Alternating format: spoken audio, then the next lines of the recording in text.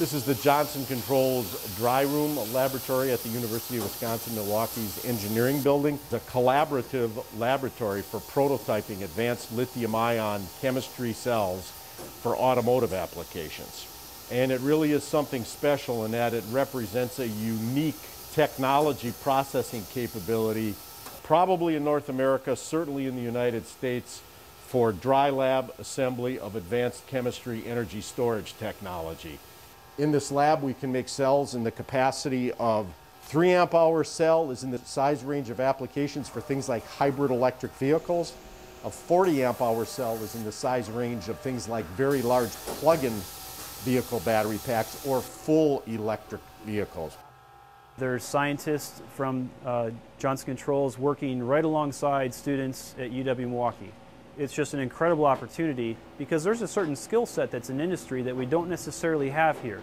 It only makes our work stronger. And so some of the work that I'm doing is looking to create new materials that can be used to push the envelope forward and expand the capability of energy storage so that it can go out into different areas. I feel more prepared to move into industry after I finish my study. This kind of experience uh, will make it easy for me to transit from academia.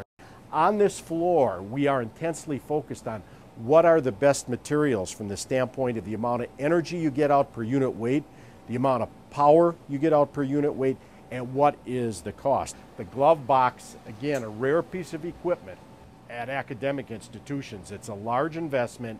It's a sealed glove box pumped down and filled with argon. There's nothing else in this in terms of an atmosphere but argon.